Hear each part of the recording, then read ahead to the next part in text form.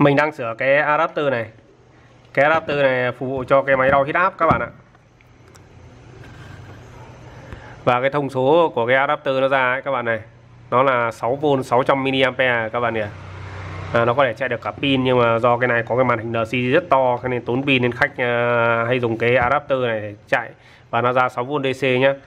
và cái uh, lỗi của nó là cắm nó sẽ không uh, không có nguồn ra. Như vậy là để mình sẽ bộ đục nó ra, mình xem sửa nó có dễ không. Còn nếu mà không sửa được ấy, mình sẽ lấy cái adapter 5V của mình xong mình sẽ độ mạch cho nó lên thành 6 ra thành 6V cho nó chuẩn nhé bởi vì đôi khi ờ, như cái ờ, thằng ờ, cái cái model này thì mình không rõ nhưng mà cái adapter của cái thằng Omron ấy cũng máy đo huyết áp ấy, phải 5V cắm vào nó toàn báo lỗi ấy. phải đúng 6V nó mới chạy cơ mọi người ạ. Thế mới buồn cười. Nhưng cái này thì mình cũng không rõ, thì mình sẽ thử cạy ra nhé mình sẽ để cạy nó ra thì ờ, thường là mình sẽ dùng cái tu vít mình đã mài nhọn đầu này này, hai cạnh mình sẽ đóng ở đây một chút, sau đó là mình bửa các bạn ạ. Đấy. Cái này nó hàn chặt lại hết mà, các bạn. Sau đó mình sẽ bửa dần nó ra thôi. Và khi nắp lại thì ờ, dán bằng keo 502 các bạn ạ. Đấy, là nó đã ra nhá. Ui rồi adapter lởm thế này á. Ôi trời ơi adapter quá lởm luôn các bạn ạ. Và chúng ta sẽ để ý nhá, trên cái adapter này nó có cái tem này. Cái tem này là tem của nơi ờ, bán cái ờ, máy đo đo huyết áp này nhá, mọi người nhá. Nó giống hệt trên ờ, cái tem à, ở trên cái bảo hành trên của cái máy này. Và cái máy này mình cầm lặng và chất, rất là chất luôn mà mà cái adapter của nó này như cái sạc điện thoại đẻo luôn. Mình không hiểu.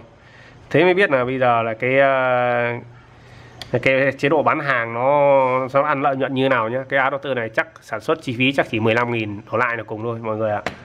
Và cái lỗi của nó thì mình vừa mới kiểm tra qua ấy, thì nó lại, lại khá là dễ sửa mọi người ạ. Mình đo con chan to 13003 này nó không chập mà đồng nguyên nhân của nó là lỗi cầu trì này và chúng ta sẽ để ý này cái con tụ này nhá. Ôi nó mờ quá. Cái con tụ à, lọc 300V DC à, này nó đã bị lỗ phía dưới và mình thấy nó hơi bị căng căng như vậy là nó khả năng là do con này, con tụ đấy nó lỗi dẫn tới là nó mới nổ cái điện trở cầu trì mọi người ạ. Như vậy là cái video này sửa như này sửa cái sạc điện xe sạc điện thoại hay bị lắm ấy. Một thiết bị mà khách mua đến hơn triệu bạc mà trả ra thực ra hệ thống gì luôn. Mình đo cái cầu diode này chiều xuôi này chiều ngược này.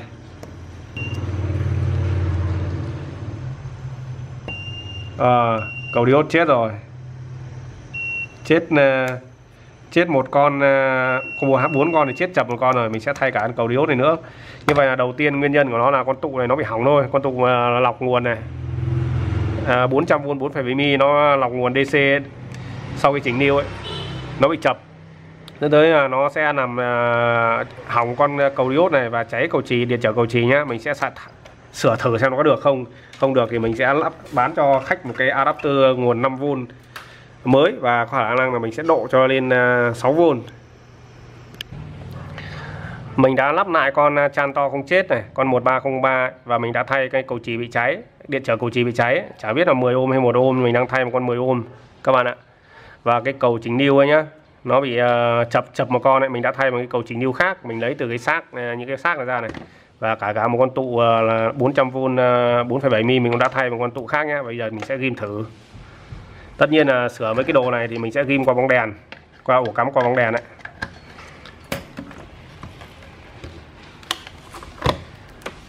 Một thiết bị ờ, khá là hiện đại và đắt mà dùng cái adapter lởm quá các bạn ạ. Đấy nó đã được ra được ờ, 6,5V này các bạn này. Chắc là nó chỉ ra thế thôi mà và mình kim thử nhá. Đấy nó đã lên mọi người thấy không?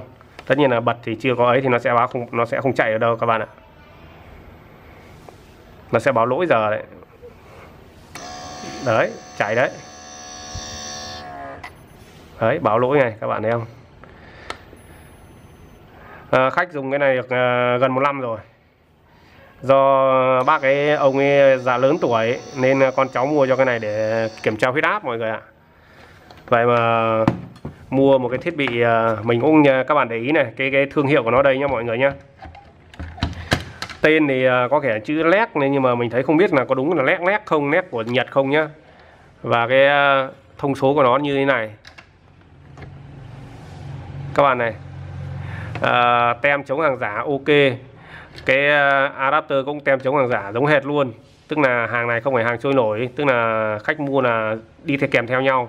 Vậy mà lởm quá mọi người ạ tiếp tục còn đây là cái adapter ờ, nó ra 12V 2A nhé à, mình đang sửa cái ờ, adapter của cái cái thiết bị đo huyết áp kia thì ờ, có bác khách bác đem cây này đến. Cái anh này thì thấy anh bảo anh là giáo viên đang dạy học online.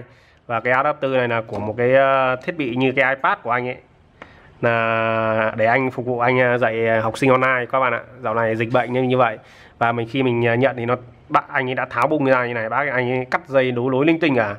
Và mình có test qua nó mình thử ấy, thì nó không có nguồn ra. Và mình xem ra nó có sửa được cho anh ấy không. Mình sẽ ghim điện vào đây mình đo cho mọi người tham khảo là không có nguồn ra. Và đo đạc qua như thế nào để có thể tìm ra được cái lỗi của nó nhé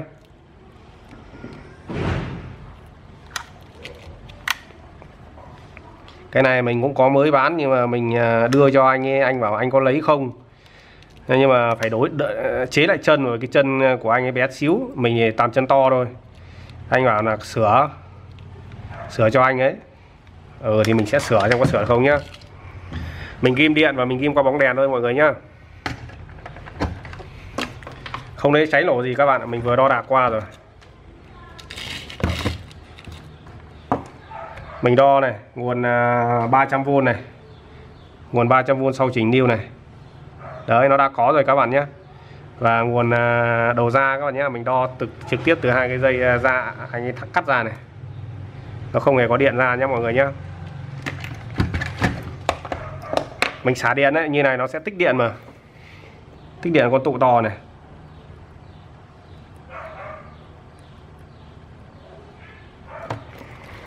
Và như mình nhìn qua thì cái nguồn này nhá nó là cái adapter ra 12V 2A thì à, nó sẽ có một con IC dao động 6 chân mà như mình đã làm rất nhiều video ấy là con à, QVK nó dạng như con QVKP 36R mình thấy chân của nó khá là giống. Nó kích một con móc phép dán này này để nó lái bên uh, sơ cấp ấy để bên thứ cấp sẽ được chỉnh điều qua hai con diode này. Để ra được cái nguồn 12V tất nhiên nó sẽ có so quang hồi tiếp ổn định điện áp nhá mọi người nhé và mình có đo qua thì nó đang chập đầu ra mình khả năng mình đoán là cái thiết bị này của anh ấy dây dọ nó bị sao ấy anh cắt ra hoặc nó bị chập từ trước nên dẫn tới nó bị lỗi sao ấy. Đây là các bạn này mình đo ờ, đây là mình đo ngược như này thì bao giờ nó cũng lên rồi. À, bởi vì cực dương nó luôn ở giữa mà mình đo ngược lại này thì nó cũng thông. Như vậy là mình đang xác định là một trong hai con diode chỉnh niêu này có con chập. Ờ, mình sẽ tháo thử nó ra xem có đúng không nhá và mình sẽ thay con diode khác xem có được không. Hai con uh, uh, lắp song song nhau để tăng dòng thôi như các bạn nhé. Và khi nó chết thì đa số nó sẽ chết một con đấy nhưng mà khi chúng ta thay ấy, là chúng ta phải thay hai con giống nhau. Hoặc là thay kiếm được cái con ờ, tên đúng như vậy thì thay đúng như thế thì ok các bạn ạ.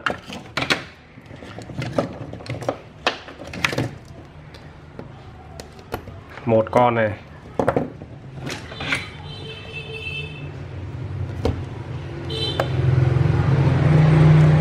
Mình khả năng mình à, chết nó chết mình sẽ thay một con diode kép. Mình đo cho mọi người tham khảo nhá. Đây là hai con diode này.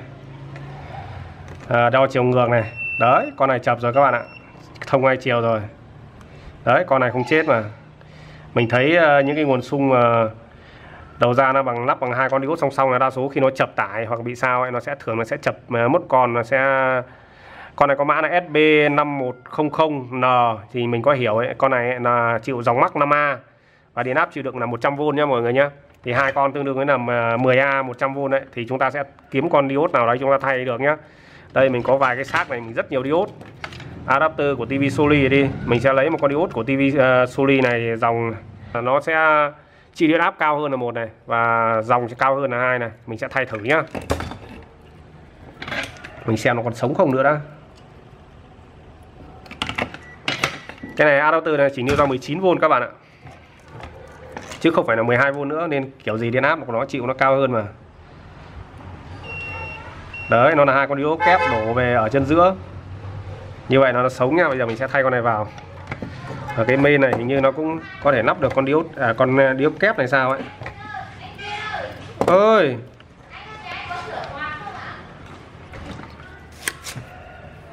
chỗ này này mình thấy là nó có cái nỗ để có thể à, lắp được con à, diode kép các bạn ạ. Chắc là nhà sản xuất họ cũng tính cả. Thì riêng diode kép nó chảy từ hai cái chân bên ngoài đi vào thì mình lắp kiểu gì được lắp ngược lắp xuôi đều được mọi người nhé đây mình lắp như này này. Thì chúng ta sẽ thấy ấy, đây là đầu của pin áp này.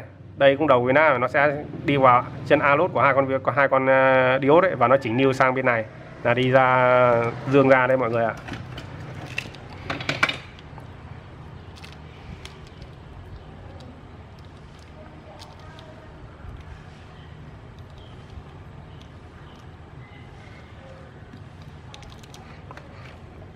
Đó, bây giờ mình sẽ đo cho mọi người là khi uh, diode ok thì nó sẽ không chập nhá.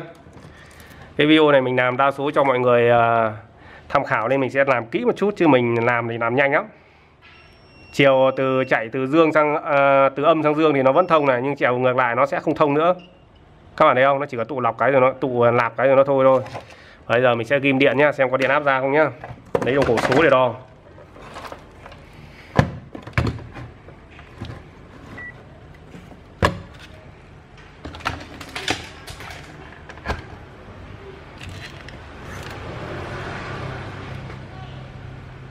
Đấy ok các bạn thấy không? Thì tại sao mà diode chập mà nó lại không có nguồn ra? Thì khi diode chập ấy, thì là con IC ờ, à, à, con à, IC 6 chân kìa. Nó nhận thấy các bạn ạ nó nhận thấy à, có sự quá dòng sự chập tải của cái phần hồi tiếp ấy. Dân tới là nó sẽ ngắt nó bảo vệ đấy. Mọi người nhá nó thiết kế kiểu như vậy. Rồi mình kiếm cái gì để mình để thử tải cho nó đã.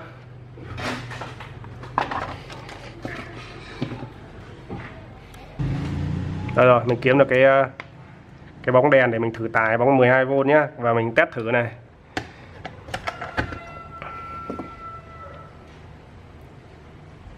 Như vậy là nó ok các bạn ạ. Nóng quá. Bàn khá là dễ nhá các bạn nhá. Chập tụ à, à chập diode chỉnh lưu đầu ra thôi.